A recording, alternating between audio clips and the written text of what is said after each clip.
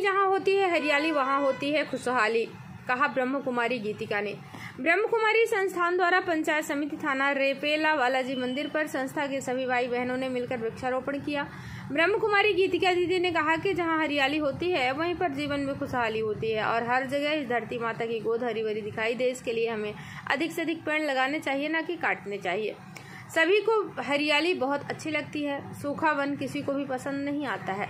उन्होंने कहा कि ये पेड़ से हमें प्राणवायु ऑक्सीजन मिलती है, ये पेड़ ही हैं, जो हमें बस हमेशा देना सिखाते हैं। पेड़ हमें एक माँ की तरह अपनी छाँव में लेकर हमें शीतल छाया देते हैं। तो देखा जाए तो एक माँ और पिता की तरह ही हमारी आजीवन पालना करते हैं। इस अवसर पर ब्रह्म कुमारी नेहा दीदी ने सभी कभी पेड़ न काटने की प्रतिज्ञा करवाई और सभी को अपने आशीर्वचनों से लाभान्वित किया।